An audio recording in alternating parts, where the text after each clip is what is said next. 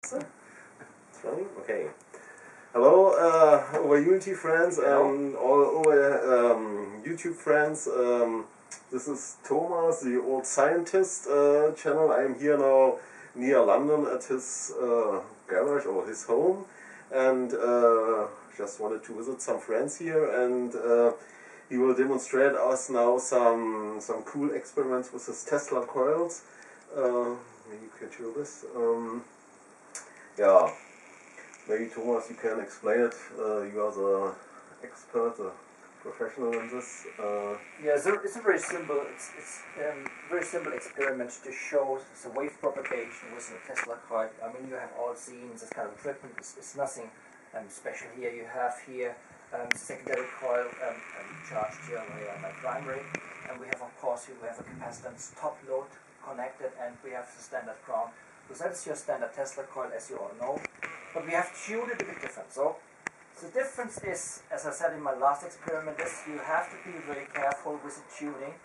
You cannot use the tuning on a standard coil. You have to use the tuning that your, your top load is literally sending out all the energy. So we have done that here. So we're using solid state technology. And the solid state technology will then actually excite the primary, and the excited primary will then um, um, um, couple with secondary and send the energy. So maybe we can explain uh, this, uh, shortly the setup. This is just an So let's let's just go uh, through that up here. We have here our um, uh, standard signal generator. We, we're going to use here a square wave. It's a 50% duty cycle. Mhm. We go over this signal will be sent here to my uh, standard driver. My standard driver has his own power supply. Pre-amplified driver for the MOSFET. Well, that's pre-amplification exactly. So the signal will be enhanced here with, with the system, and that will actually then uh, um, drive the IRFP 450, which then will be charged via the higher power supply, which is 120 volt uh, 1 amp, so 120 So this is the power supply for the MOSFET which is driving this primary coil here from this Tesla setup. Absolutely correct. Yeah. So we have done some uh, some preliminary um, uh, tunings already. So we have 822 kilohertz here at the moment, and I want to show you a couple of um, effects we're going to see. Um, One, one, one interesting thing is uh, the, the secondary of this Tesla coil here uh, is connected to the ground, to a special ground uh, which is in the garden, not the, not the house ground, you Yeah, said? yeah. Okay, and this is now the, the output, this is this um, ball, uh, and this is only with one wire pick up uh, to the scope so we can see the resonance uh, frequency on this digital uh, scope then. Okay. well, let's start it up, Okay, let's go. and let's take some voltage out here. now the power supply is. So as you can see at the moment we have 20 volt in here, and you see here, because it's a fair distance, normally we should measure it from here, and see some amplitude. So the voltage is very low, we have 200 milliamp at the moment at 23 volt. Let's go to 30 volt and see what it does for the system. Let me move over here. So at that time, at that value, I would not recommend to touch it anymore. It's, it's going to be painful, but I will uh, should show you already at 30 volt um, I have a quite strong field and the interesting part is um, because you can see here that's one of the experiments where how you can actually test that your standing wave is where it's supposed to be quarter wave on your top load I have the full power here mm-hmm. so this coil is tuned to the top load it's not tuned to the resonance frequency of the coil itself very very important if you do that, you have one of your standing waves in between the coils, but not on top load. So you want- have to have it at the top so you that need it, to have it. that it emits the most power. It emits the most of the power mm-hmm. on the top load, and it will go out here. So this is a special scalar wave which comes Yes. directly linearly out. out Absolutely out. Oh, It's a pressure wave which comes out from here, oh, Yeah. and based on your construction on your top load and the construction on your coil system, which mm-hmm. will be which, which has to be very specific, very very different to what you see here. Mm-hmm. That's not a system which is efficient enough.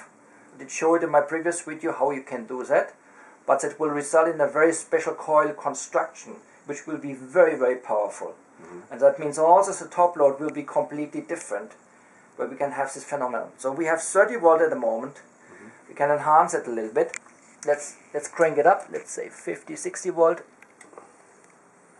So now he raises the power supply voltage Yeah. for the MOSFET driver, which drives the the primary coil. You see, we have a much stronger field now, and uh, we should see some sparks now as well. No, almost. It's at 60 volt. If if you go higher, so it will get stronger. But for those of you who know the functionality of flyback, so that's literally a flyback functionality as, as you see. Let's increase the voltage a little bit more, and we see it a little bit different. Let's go 80 volt. So 80 volt. So let's have a look. Oh, no. Hopefully it's not dying on me. Wow, now we can all almost pull one centimeter of spark, so 10 kilovolts about at this uh, top Yeah. ball. And as you can see here, can go to a distance and it will still lit up. Hmm. Yeah.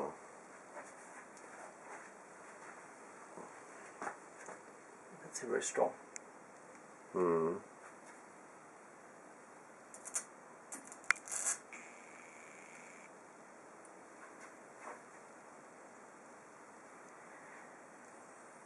So, So we can so have the direction of the scalar wave comes out of this top ball Yeah. into the direction of the secondary. so the form of the top load will have an influence of the propagation of the wave. Uh-huh. As an antenna, an antenna has spe- specific construction as well um, in order to, um, to emit um, TEM, so transverse electromagnetic waves in a specific fashion. As in a Tesla coil, you mostly have um, either a ball or you have a toroid. Mhm. But I will go for an additional, um, completely different um, um, um, design, which will be a tube form, which will be um, working like um, like a speaker system, if you want. Mhm. Yeah. So that's a different things- different top load I'm gonna build Mhm. to amplify this kind of energy.